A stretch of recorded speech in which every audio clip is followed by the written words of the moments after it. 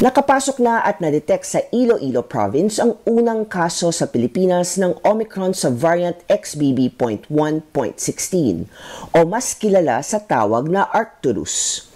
Ayon sa Department of Health, asymptomatic ang pasyente at nakarecover na.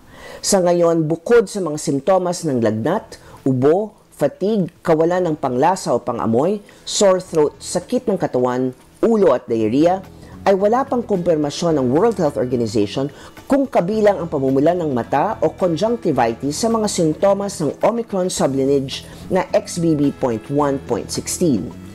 Iba-iba rin ang sintomas sa bawat kaso, ngunit giit ng DOH na nanatiling manageable ang mga kaso. Tiniyak din na patuloy ang pag-aaral sa epekto ng virus.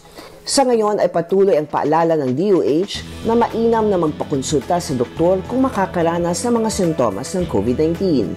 Pinasinungalingan naman ng DOH ang mga kumakalat na infographic na habang nasa ilalim ng Alert Level 1 ang Metro Manila.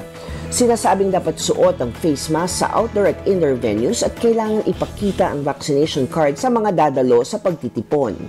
Paalala ng DOH maging maingat sa mga ipinapakalat na impormasyon na dapat manggagaling sa mga opisyal na DOH pages at iba pang ahensya ng gobyerno at news outlets. At para maiwasan naman ang pagkalat ng COVID-19, mainam ang magsuot ng mask, distancing, maayos na ventilation at pagpapabakuna. Samantala, maging ang Department of Science and Technology ay patuloy na sumusuporta sa mga proyekto at pag-aaral na makakatulong maibsan ang paglala ng kondisyon ng COVID-19 sa ating bansa. Pinondohan nito ang isang pag-aaral ng University of Santo Tomas Research and Development kung saan ide-develop nito ang yeast-based oral vaccine laban sa COVID-19. Ang proyektong ito ay pinamumunuan ng pre-scientist na si Father Nicanor Austriaco, 2021 Short-Term Balik Scientist Awardee ng DOST at dati ng professor ng Biological Sciences sa UST.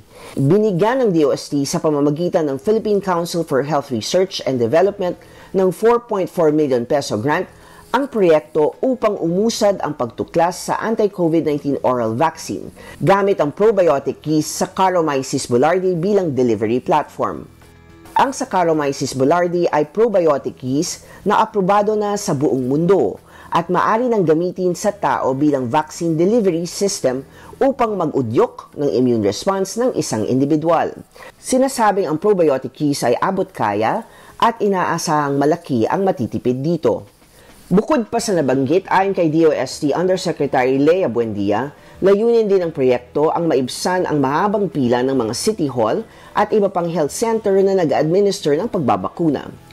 At dahil ito ay isang oral self-administered vaccine, nakikitang maiiwasan na rin ang paggamit ng karayom, syringes o maging mga healthcare workers.